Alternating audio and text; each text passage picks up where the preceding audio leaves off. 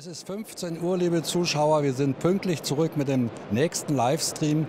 Und ähm, es ist eine wunderschöne Kaffeezeit. 15 Uhr Auhagen. Passt am besten dazu. Legen Sie sich ein bisschen zurück in Ihren Sessel. Machen Sie es bequem. Nehmen Sie eine Tasse Kaffee und genießen Sie die Neuheiten von Auhagen. Und neben mir steht wie immer Michael Hofmann. Und er wird uns natürlich ganz klar sagen, was dieses Jahr wieder an aktuellen Neuheiten gibt. Nun haben wir aber schon im Vorgespräch gemerkt oder uns unterhalten, liebe Zuschauer, es gibt einen riesen Wermutstropfen hier am Stand und es ist auch sehr traurig, was da passiert ist, nämlich was? Ja, wir sind angereist am Samstag mit unserer Palette von Dioramen und unser Aufbauteam hat dann auf einmal festgestellt, dass die Palette aufgeschnitten war und ein Neuheiten-Diorama hat gefehlt. Und darum, wir sind nicht hier bei den Dunkelmännern, sondern bei Auhagen, ja. aber haben hier so ein kleines Hinweisschild gemacht, dass wir leider die Neuheiten nicht in dem Zustand präsentieren können, wie wir uns das Nun gewünscht haben. Es ist aber leider Gottes so, oder beziehungsweise Gott sei Dank so, dass wir einmal das Schild haben, die, die, Neuheiten in diesem Jahr, und das ist anders als in den vergangenen Jahren, wird, ähm, präsentierst du uns auf fertigen Dioramen. Das hat den Vorteil, dass man im Gelände schon so die Gebäude und Häuser sich so ein bisschen vorstellen kann und ein bisschen Bauchgefühl aneignen kann dazu. Du hast aber keine Kosten und Mühen gescheut, um wenigstens zwei Gebäude nachholen zu lassen, die auf diesem Diorama waren. Und was sehen wir da? Wir haben einmal hier das Bahnwärterhaus und zum anderen das Einfamilienhaus mit den Sonnenkollektoren und der Sattanlage, die es auch als Einzelartikel gibt. Aber nicht ich habe Kosten und Mühe gescheut, sondern an dieser Stelle muss ich unseren Mitarbeitern ein großes Dankeschön aussprechen, weil sicherlich mit viel Mühe und Arbeit diese zwei Modelle in Windeseile nachgebaut worden sind. Und wenn ich Ihnen sage, dass das Bahnwärterhaus gegenwärtig nur ein Handmuster ist. Die Teile sind alle einzeln gefräst und die Modellbauer wissen, was das für Mühe und Arbeit ist. Darum nochmal an unsere Mitarbeiter ein herzliches Dankeschön. Also, die haben hier auf der Messe die beiden Häuser jetzt nachträglich zusammengebaut? Nein, nicht hier auf der Messe, sondern zu Hause bei uns in Marienberg, unsere Werkzeugbauer, unser Diorambauer und darum ein ganz großes Dankeschön nach Marienberg. Da hast du mir jetzt gerade das richtige Stichwort gegeben, bevor wir das nächste, also das nächste, die nächste Neuheit auf dem Diorama vorstellen wollen. Apropos zu Hause in Marienberg. Ich habe mir sagen lassen, und wir haben ja auch, glaube ich, darüber gesprochen schon mal in Telefonaten, du bist im Schnee ersoffen. Ja, sicherlich nicht ersoffen. Das könnte dann hinterher passieren. Ne? Aber wir haben reichlich Schnee. Vielleicht sind wir auch alle bloß die Jahre verwöhnt gewesen, dass es eben nicht geschneit hat. Ansonsten sind diese Winter für uns im Erzgebirge nicht unüblich. Aber wie gesagt, hatten wir lange nicht, dass wir über einen halben Meter Schnee haben. Also, sagen wir, sehen wir es mal positiv. Wir haben mal einen richtigen Winter wieder gehabt. So kann man es auf den Punkt bringen, genau. so, äh, die Kollegen haben jetzt im Hintergrund schon das Diorama vorbereitet. Äh, wir sehen was jetzt, Michael? Ja, Frank, du hast schon angesprochen, wir haben dieses Mal unsere Neuheiten auf Dioramen äh, präsentieren wir hier, ja. weil wir unsere Neuheiten auch themenbezogen darstellen.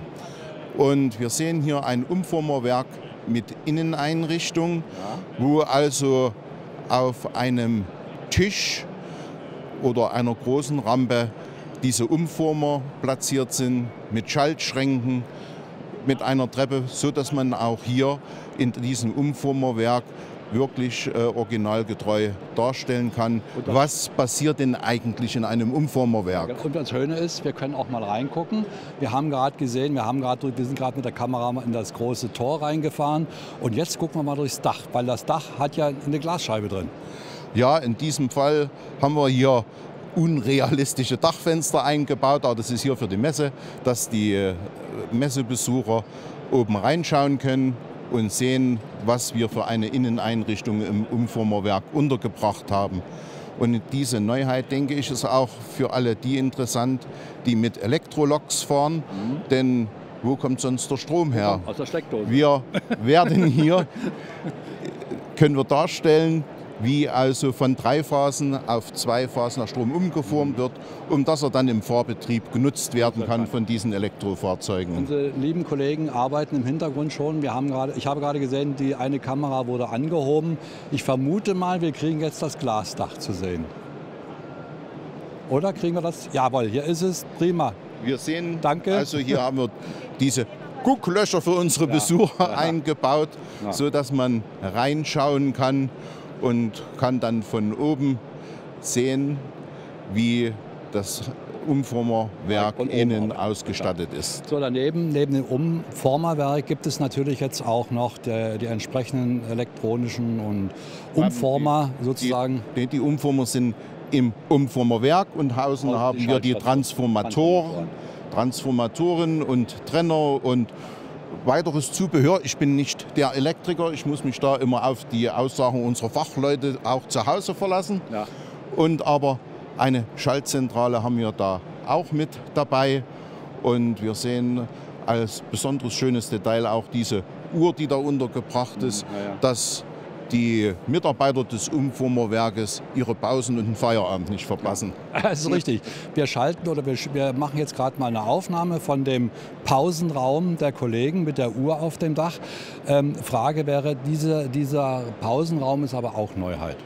Diese Schaltzentrale ist auch eine Neuheit und das sind alles beides Grundmodelle in unserem Baukastensystem, sodass also auch hier wieder weiter individuell geplant werden kann. Man kann sich kreativ äh, austoben, wie man so schön sagt.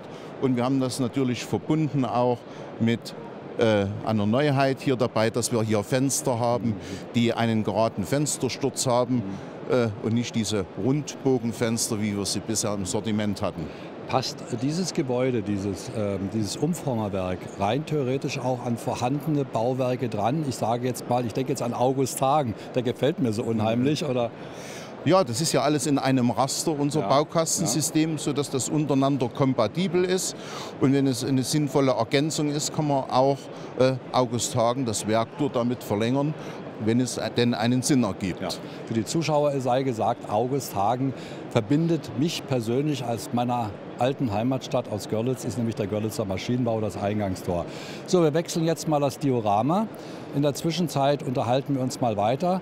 Äh, Baukastensystem war das Stichwort. Ich habe auch schon mit vielen Modellbahnern selbst gesprochen oder wir haben das Gespräch draufgebracht. Das Baukastensystem war und ist eigentlich eine ganz geniale Erfindung von euch gewesen. Die loben das alle, dass man also so ganz kreativ arbeiten kann damit. Also nach wie vor äh, ist unser Baukastensystem ein Renner. Und wer sich einmal damit beschäftigt hat, weiß das wohl einzuschätzen und zu loben und sagt, die Passgenauigkeit ist hervorragend, die Individualität, die es gibt. Man kann also wirklich ganz viele Dinge und Gebäude hier einfach äh, konzipieren und bauen, äh, wo das Herz des Modellbauers höher schlägt. Also ich habe auch schon mir mal auch näher angeguckt, das kann man ja auch bei den Dioramen hier auf der Messe wunderbar. Äh, auch diese Materialanmutung ist auch sehr hochwertig. Also das ist also schon wirklich äh, qualitativ hochwertig. Die Passgenauigkeit ist hervorragend, wird immer wieder gelobt. Und ich glaube, äh, dass auch hier Preis-Leistung in einem guten Verhältnis steht. Das glaube ich dir aufs Wort, Michael. so, was sehen wir hier? Wir, wir, sehen jetzt in ein Gebäude rein. Normalerweise werden ja Mauern drumherum. Das ist also ein, sage ich jetzt mal, Ausschnitt eines weiteren Fabrikgebäudes. Hier präsentieren wir unsere Innenwände aus Karton, weil wir sind immer mit den Fragen der Modellbauer konfrontiert worden. Ja, wenn ich so eine schöne Werkhalle habe und man schaut rein, wie kann ich denn äh, die Innenwände ausgestalten? Und bisher hatte man immer noch die Möglichkeit, das farblich zu gestalten. Und äh, unsere Mitarbeiter in unserer Designabteilung und haben auf Tipp eines guten Modellbauers dann die Idee gehabt, Mensch, wir machen die Wände aus Karton, legen mehrere Bogen rein, bedrucken die auch mit entsprechenden Schildern, die dann, womit man die Wände ausstatten kann. Und so kann man doch auch eine vorbildgerechte Innenwandgestaltung von Industriegebäuden zeigen. Also sehr realistisch dargestellt. Ups, jetzt war es weg. Ähm, ähm, werden diese, sind das jetzt also Hand, wie soll ich jetzt sagen? Handmuster? Hand, nee, nee, nee, nee. Ich Nein. meine jetzt die, die, die Bögen, die drin zu sehen waren. Sind das Fotografien, die dann übertragen worden sind oder sind das Eigenkreationen, Das grafische? sind, das sind grafische Eigenkreationen. Man hat sich hier was einfallen lassen. Und wie gesagt, unsere Mitarbeiter haben da immer ganz geniale Gedanken. Und ich glaube, das wirkt wirklich realistisch. Und es liegen mehrere Bögen bei. Und aus diesen Formaten kann man sich dann selbst die Fenster ausschneiden, weil es, wie gesagt, ja die Rundbögenfenster gibt. Es gibt die mit äh, den geraden Fensterstürzen, kleine und große Fenster. Ich bin immer wieder beeindruckt über die Kreativität, muss ich sagen, dass es jedes Jahr immer noch was gibt, was man rauskitzeln kann. Es ist für mich immer die Brezel. Ich, meine, ich bin zwar auch ein kreativer Mensch, aber es ist unglaublich, wie man mit kleinen äh, Ideen oder mit, mit kleinen Dingen ein Gebäude total verändern kann oder im, im, im Bereich sich da was darstellen kann, was man vorher so noch nie gesehen hat, was aber ganz normal ist. Ja, das ist immer so eine Frage. Wir haben sicherlich gute Mitarbeiter, die wunderbare Ideen haben. Wir kriegen viele Tipps von den Modellbahnern und Modellbauern. Die werden bei uns akribisch gesammelt und äh, aufbewahrt. Wir besprechen die einmal im Jahr und dementsprechend, wo wir sagen, hier, das wäre eigentlich eine sinnvolle Geschichte. Hier fragen auch die Modellbauer immer wieder danach. Und äh, dann wird in einer großen Runde nach Bauchgefühl entschieden, sagen, das könnte die Neuheit sein. Und wir hoffen natürlich, dass sie dann beim Beste, ja. Endkunde auch so ankommen. genau. Machen wir mal weiter im Bauchgefühl. Das Diorama gibt ja noch ein bisschen mehr her. Da sind noch ein paar Neuheiten drauf. Ähm, es sind Fahrzeuge drauf, die gehören nicht zu dir, aber zumindest das, was man daraus machen kann, was sehen wir noch? Wir sehen hier ganz einfach aus dem vorhergehenden Bausatz von dem Umformerwerk haben wir herausgelöst die Umformer, den kleinen und großen Umformer, als auch den Transformator Ja. und bieten den auch als Beladegut an Ja. und haben da auch die entsprechenden äh, Verladerahmen und Traversen, sodass auch hier eine vorbildgerechte Verladung dieses Beladeguts dargestellt werden kann. Also ein wunderschön gestaltetes Diorama, sage ich mal, um auch dieses, diese, diesen Eindruck zu erzeugen. So kann es aussehen auf deiner Anlage. Finde ich eine wunderbare Idee, äh, sowas zu machen.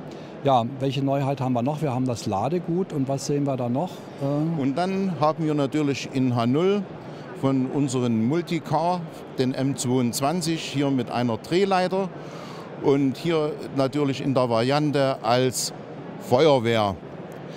Das Werksfeuerwerk. Als Werksfeuerwehr, jawohl. Jungs, das ist gut. Das ist, denke ich, auch eine schöne filigrane Modellausführung, wo wir auch die Leiter ist ausziehbar, ist bewegbar. Und diese Feuerwehr oder diesen Multicar, muss ich sagen, gibt es dann als Neuheit auch noch in Orange als Kommunalfahrzeug. Jetzt müssen wir natürlich Folgendes noch zu dieser Feuerwehr sagen. Es wird dem Didi, unseren Kameramann hier hinten, besonders freuen. Der kommt nämlich aus Waltershausen, wo diese Fahrzeuge, bitte noch mal das Bild zurückzuspielen, bitte. Ähm, ups, da war die Kamera schon beiseite. Okay, wir reden noch mal über diesen Multicar. Also Didi kommt aus, dem, aus Waltershausen, wo diese Fahrzeuge hergestellt werden. Ich finde auch die Idee recht lustig, dass die Feuerwehr rausfährt um die Katze. Auch Didi hat eine von dem, von dem Fahnen, äh Quatsch, Fahnenmast, von dem Lampenmast Mast. holt, rettet. Also ist eine recht pfiffige Idee. Auch dafür kann die Feuerwehr da sein. Die Feuerwehr löst jeden Notfall, denke ich. Ne? Meinst du? Ich gehe davon aus. Und, und wenn man den Kollegen dann was zum Brandlöschen gibt, sind die auch gerne gekommen. Siehste, da, gut, dass wir drüber gesprochen haben. So, jetzt kommen wir zum nächsten Diorama, während wir umbauen. Ähm, sprechen wir ganz einfach mal weiter. Es passiert auch ein bisschen was im Hintergrund. Ja, ähm, Michael, du bist ja nun schon viele, viele Jahre mit Auhagen unterwegs.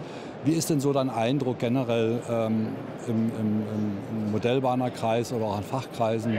Wie kommt Auhagen eigentlich allgemein an? Also ich denke, wir haben da schon eine gute Position bezogen und äh, die Modellbahner wissen natürlich auch Qualität und Preis zu schätzen. Komm mal Und wir äh, hier. wir werden, ich glaube, sonst sieht man uns nicht. kein Problem, kein Problem. Äh, ist live. Ich So, glaube, jetzt. die Modellbahner wissen das schon einzuordnen. Und Auhachen, denke ich, hat einen stabilen Platz in der Modellbahnbranche. Schon eigentlich traditionell gesehen äh, muss man das Ganze einfach mal so sagen. Rücken, Michael, das passiert jetzt ganz normal. Also dass also die Auhachen-Produkte auch schon in der DDR geschätzt ja, wurden. Ja, ja, Und wer hier äh, Verwandtschaft hatte, wurde das auch natürlich wie man so schön sagt, in den Westen geschickt. Und ich genau. glaube, auch die Modellbahner haben das zu schätzen gewusst. Dann war es ein Begriff unter Mamos oder Vero. Mamos, Vero Und äh, nach der Wende natürlich wieder durch Reprivatisierung Auhagen. Und wir mussten sicherlich unseren Platz hier wiederfinden. Mhm. Aber ich denke, in all den vielen Jahren hat es das uns gelungen. Glaube ich auch. Und über das Vergangene kann man sprechen, kann man stolz sein. Und wir wollen aber nach vorne schauen. Und da kann man auch stolz sein. Kann ich ganz wirklich auch im Namen aller Modellbahner sicherlich ganz unbefleckt sagen an der Stelle. So, wir sehen das nächste Diorama. Da gibt es ebenfalls zwei Neuheiten. Ähm, was ähm, dem Didi wieder erfreut, ein Multicar dabei.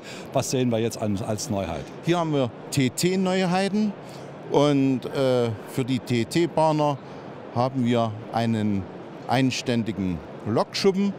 Der auch, ist das für die Feldbahn sozusagen? Nein, nein, nein, das ist also richtig normal Regelspur. Okay. Aber dort, wo eben nur ein Gleisanschluss ist, mhm. dort kann die Lok untergestellt werden. Das wäre ja äh, Baufrevel gewesen. Man hätte einen zweiständigen Lokschuppen dahin gebaut ja. und das eine Tor wäre in der Grünwiese. Ja.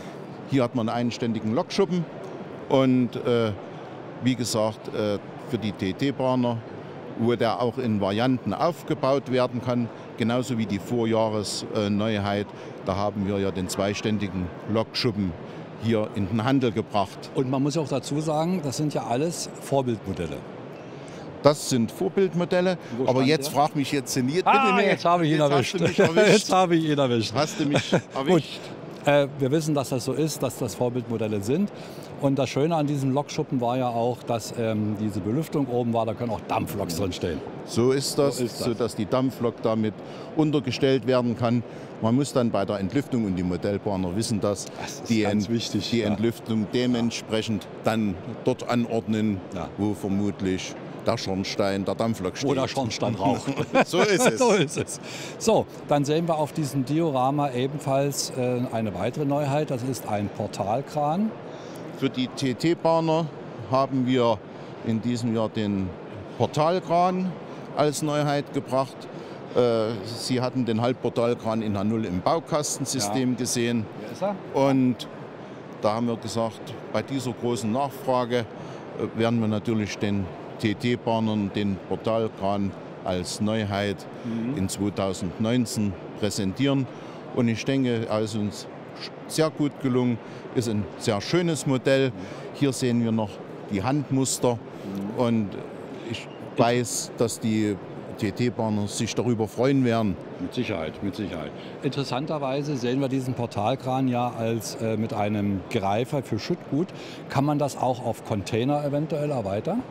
Auf Container kann man den sicherlich nicht erweitern, sondern weil das ganz einfach die Höhe des Portalskrans nicht hergibt. Okay. Denn es muss ja ein Fahrzeug drunter und äh, die entsprechenden Vorrichtungen. Und dann muss man sich mal die Container noch vorstellen. Also das kann man hier bei dem Portalkran sicherlich nicht tun. Also habe ich völlig daneben gelegen, aber vielleicht war es ja die Idee fürs nächste Jahr. Okay, gut. Das waren die beiden Neuheiten und dann kommen wir noch zur Spur N. Nein, ich würde noch was ergänzen, oh. weil, weil wir noch einen Wunsch der TT-Bahner erfüllt haben. Ich denn wir haben Ach, den ja. TT-Bahnern den Multicar mit Anhänger in diesem Jahr im Programm aufgenommen. Und ich glaube, da werden sich die TT-Bahner auch freuen, dass wir das Fahrzeugsortiment in TT um diesen Multicar M22 erweitert haben. Ich möchte die Modellbahner und die TT-Bahner um Verzeihung bitten. Ich wollte, es war keine Absicht, diesen Multicar zu übersehen, aber ich habe am Anfang erwähnt. Du hast ihn erwähnt, das war nicht ganz daneben okay, gegangen. Nicht ganz daneben gegangen. So, also der Multicar in äh, TT, ebenfalls ähm, eine Neuheit. So, und jetzt kommen wir für Spur N. Da gibt es ebenfalls drei Neuheiten anzukündigen von euch, wieder wunderschön dargestellt auf einem Diorama.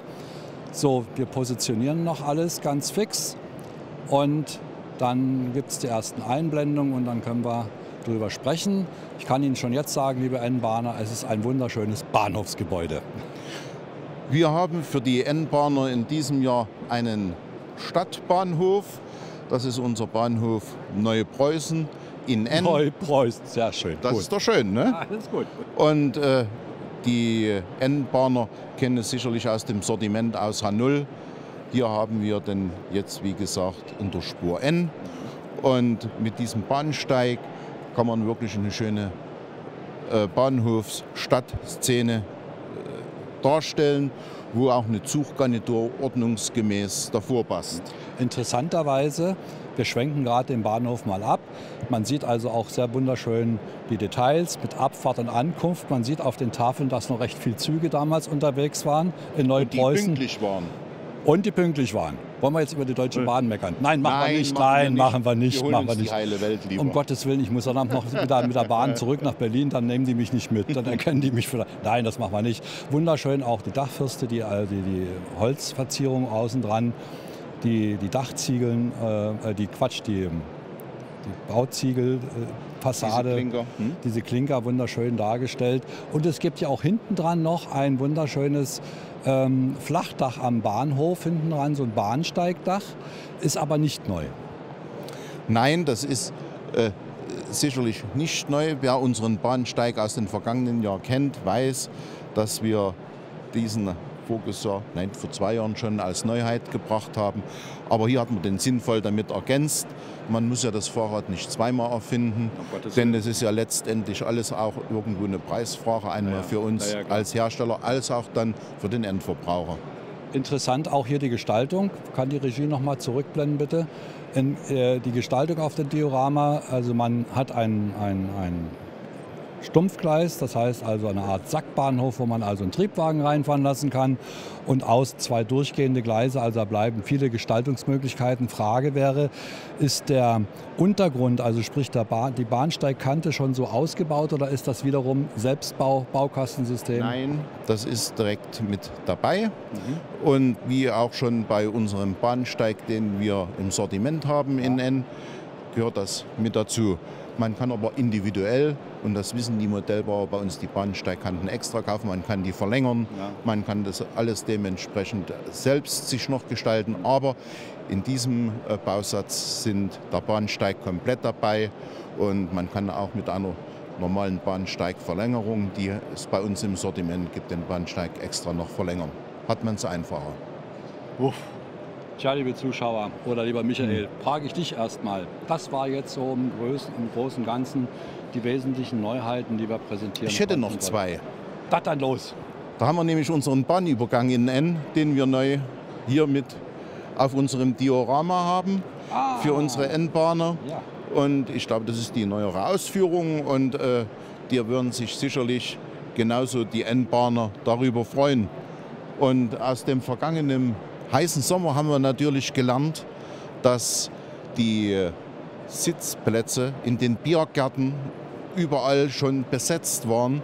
Dann haben wir gesagt, da müssen wir den N-Bahnern natürlich Bänke und Tische mit dazu liefern. Zuliefern. Sollte es wieder warm werden, dann kann man da natürlich einen Biergarten ordnungsgemäß ausgestalten oder man setzt in den Schrebergarten, sodass auch hier mit diesen kleinen Details, wo überall sich bestimmt noch ein Plätzchen findet, kann man das mit unterbringen. Also, wenn wir jetzt gerade über das Wetter gesprochen haben und über diese wunderschönen Details, einen schönen Sommer wünsche ich mir wieder, aber es sollte bei 26, 27 Grad Schluss sein.